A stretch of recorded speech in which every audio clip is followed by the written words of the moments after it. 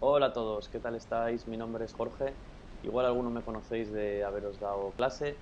Eh, soy profe en la uni y me dedico a investigar también sobre las posibilidades educativas que ofrecen los juegos y, demás. Y estos días, pues me apetecía inaugurar una especie de sección, eh, porque muchos me estáis preguntando, Jorge, ¿a qué juego, qué, se te ocurre recomendarme y demás? Pues bueno, una especie de, de revisión de algunos juegos del ámbito independiente que es donde yo creo que está todo el talento ahora y, la creatividad, que han marcado un poco hitos, ¿no? que han cambiado ahí la historia, yo creo, de, los videojuegos. Y vamos a empezar pues, con un producto maravilloso. Eh, yo no me gusta hablar de juegos favoritos, pero es que, es que Limbo es, mucho Limbo. ¿no?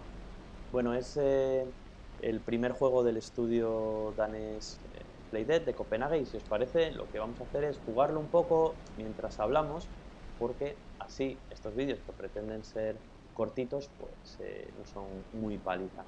Bueno, limbo, ¿no? que ya el nombre tiene esas connotaciones un poco inquietantes, ¿no? De ese espacio donde se supone que los críos se van, ¿no? Porque si no han sido eh, bautizados, ¿no? Ese espacio entre el, cielo y el infierno ahí, como que no habían cometido pecados, pero claro, tampoco eh, se puede decir que son buenos del todo.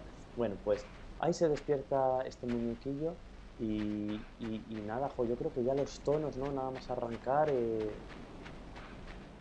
es que es una pasada, yo creo. Yo es que veo esto ya y me, emociono. Tengo aquí algunas notillas que os voy a contar mientras jugamos. Eh, bueno, este juego como os digo, es del estudio danés Playdead. ¡Hija! Voy a jugarlo, hace bastante que no lo juego y además estoy jugando con, las teclas, cosa que no debéis hacer, eh, jugando siempre con mando. Entonces, pues bueno, de lo que me acuerde, ¿eh? si hay algo que no me acuerdo, eh, pues me perdonáis. Como os digo, del estudio danés Playdead, que pues nada, un par de chavales que estaban trabajando pues en otras compañías y decidieron que ahí no estaban haciendo las cosas que querían, así que empezaron a trabajar por su cuenta. Tenéis que saber que, que en los países nórdicos, en Suecia, en Dinamarca, pues yo creo que son ahora el epicentro de, a nivel de talento y creatividad en el ámbito independiente. Eh, si cruzas ahí de Copenhague para el otro lado, para Suecia, pues te plantas en Malmo y ahí está Simogo, que es otro estudio maravilloso. ¿no? Hay una especie de triángulo de las Bermudas que es mucho talento en demasiado poco, poco espacio. Este juego es de al loro 2010 y es decir, 10 años de juego, ¿eh? Y claro, yo creo que dieron con la tecla a nivel estético para que este juego no se vea viejo nunca. Es decir, a mí me sigue pareciendo la estética, ¿no? que es lo que más envejece a los juegos, pues absolutamente contemporáneo, atemporal, ¿no? diría yo, pues, esto podría ser pues, una película de cine negro, seguramente estáis asociando, vienen a vuestra cabeza pues muchas eh, referencias culturales y estéticas. ¿eh?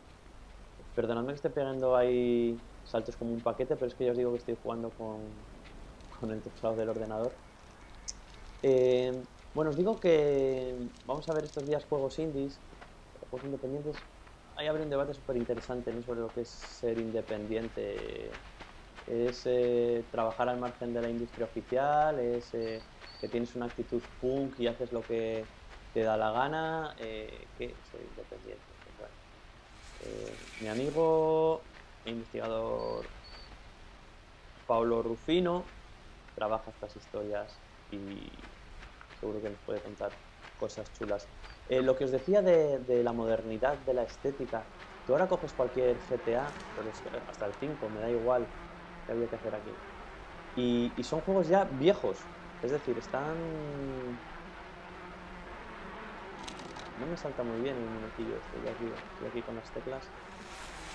Aquí había que hacer esta movida con moscas, eh, la clave está esta celda. Ya os digo que de algunas cosas me acordaré y de otras no, pero bueno, vamos a disfrutar solo con... ¡Ah! Luego nos dejamos matar un poco, porque ya sabéis que este juego, parte del feeling son los siniestros que son las muertes. ¡Ah, vale! Bueno, pues os decía que todos los juegos envejecen muy mal, ¿no? Yo creo que no está consolidado el, medio a nivel estético. Sin embargo, este producto es, maravilloso, ¿no? Em, vamos a jugar, yo creo, sobre todo juegos 2D, porque además es que estoy sin capturadora de pantalla y demás, y porque cuanto más viejo me hago, pues más me gusta. Que de pequeño no era nada de juegos de, de 2D, ¿no? Bueno, la trama de qué va este juego, pues yo creo que como cualquier obra especial, pues es muy ambiguo, ¿no? Y es verdad que están esas referencias, si queréis, religiosas, ¿no? Y esa oscuridad como presente todo el rato, pero pues con un nivel de ambigüedad también muy grande, ¿no? Eh, sin mucho spoiler, sí que os diré que en un momento determinado aparece, aunque sea de forma pasiva, otro personaje, que es el único personaje que, ¿Qué hay que hacer aquí? Ah, sí, esto la tenéis que.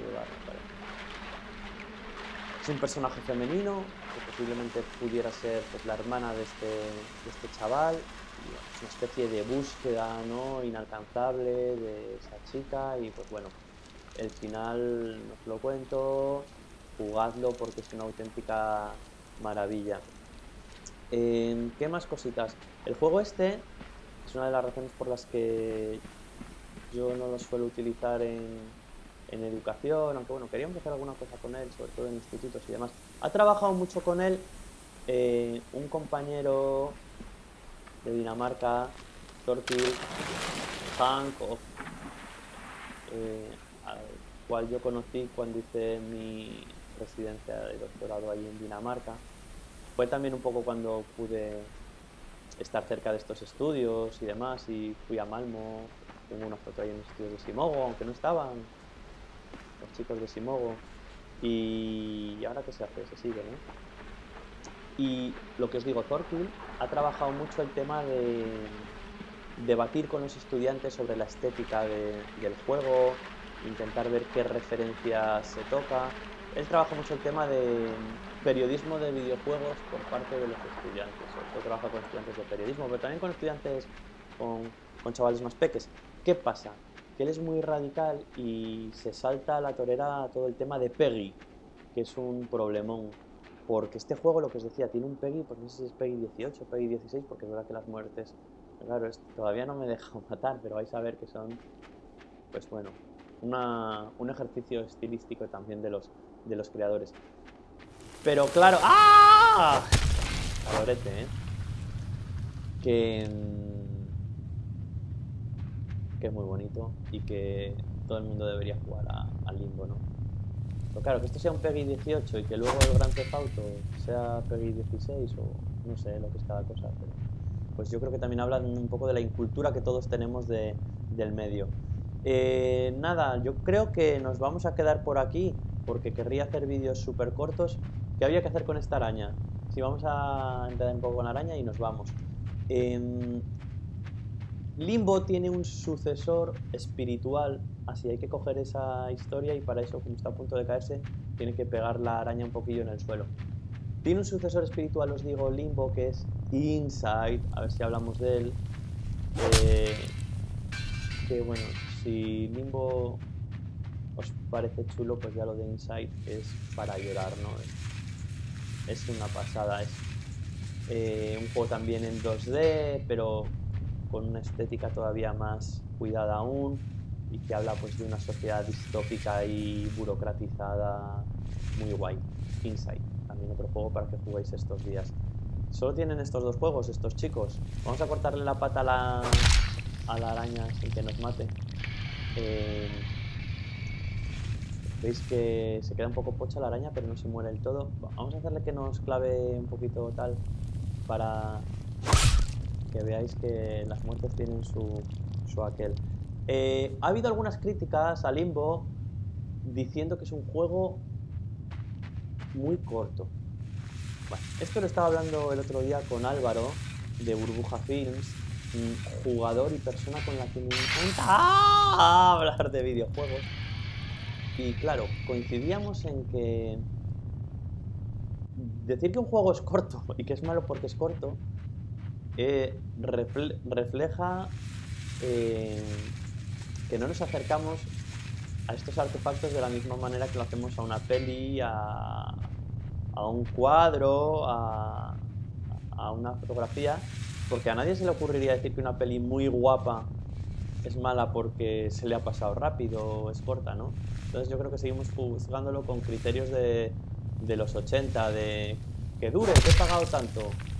Entonces eso no tiene sentido. Eh, Limbo dura lo que tiene que durar. A mí es que no me parece particularmente corto, porque eh, los puzzles que nos vamos encontrando, que odio la palabra puzzles, mira la araña ahí que se queda como pocha, ¡Ah! ¡Ah! que le queda uno. Eh, son muy, muy difíciles en algún momento, tienen, tienen su historia y yo creo que están muy bien diseñados los niveles, ¿vale? Ah, vale, vale, pues ahí está. Se nos va la araña. ¿Se nos va o no se nos va? Sí, se va para allá. Yo creo que lo vamos a dejar ahí. Os voy a dejar algunos enlaces eh, discutiendo, eh, analizando las interpretaciones tanto del juego como del final. Había un artículo por ahí que os pondré de Kotaku bastante interesante sobre a ver cuál era la interpretación más friki de, lo que podía ser el juego. Eh, fijaros qué maravilla, lo vamos a dejar aquí. Eh, fijaros cómo se traba el chaval ahí un poquillo con la especie de tela de araña y al lorete que viene por ahí, la arañuki.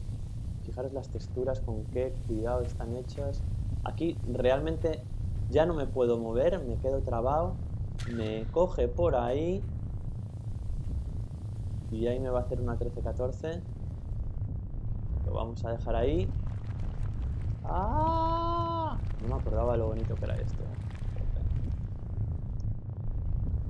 fijaros ahí, ¿eh? tiki tiki como corto, como tejo eh, ese esa, posición, esa posición ahí del, del niño, ¿no? esa especie de feto que se genera ahí es como una constante, como un eh, leitmotiv iconográfico que, que, se repite. Fijaros que yo todavía me podría mover y bueno, ahí lo vamos a dejar, no voy a enredar más.